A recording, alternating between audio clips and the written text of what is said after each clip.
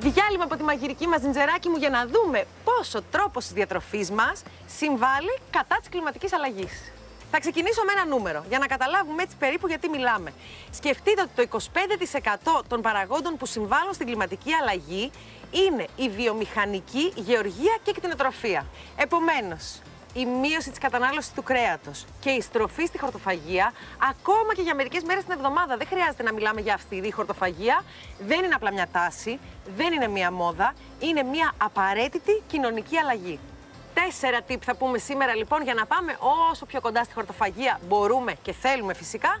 Και το πρώτο είναι να αντικαταστήσουμε κάποια γεύματα της εβδομάδας που κανονικά θα ήταν με κρέας, ειδικά το μοσχαρίσιο, με όσπρια.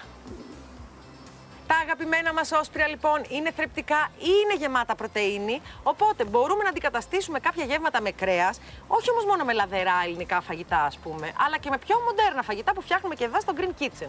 Μπέργκερ, κεφτεδάκια, ινδικά κάρι, ινδικά ντάλ. Απλά αφήστε τη φαντασία σας ελεύθερη και πραγματικά θα φάτε υπέροχα πιάτα με όσπρια.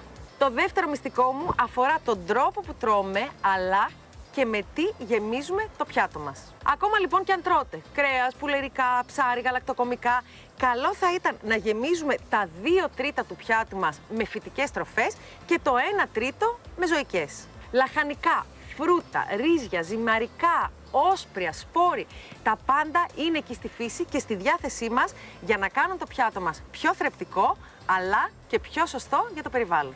Το τρίτο μυστικό μου αφορά τον τρόπο που ψωνίζουμε. Προσπαθούμε να πηγαίνουμε όσο το δυνατόν πιο συχνά μπορούμε για ψώνια, ειδικά για τα τρόφιμα που χαλάνε συχνά, για να μην κάνουμε σπατάλη τροφίμων και να βάζουμε στο καλάθι μας ή στην τσάντα μας όσο το δυνατόν περισσότερα φρούτα, περισσότερα λαχανικά και περισσότερα όσπρια.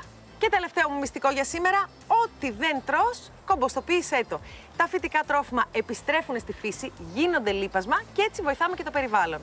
Αν θες να δεις ακριβώς πώς γίνεται η κομποστοποίηση, μπορείς να μπεις στο tvopen.gr να βρεις το σχετικό επεισόδιο. Και αν θες να συνεχίσεις να αλλάζεις συνήθειες, να βρεις χρήσιμα tips, αλλά και άρθρα, μπες στο αλλάζουμε συνήθειες.ab.gr και ξεκίνα σήμερα.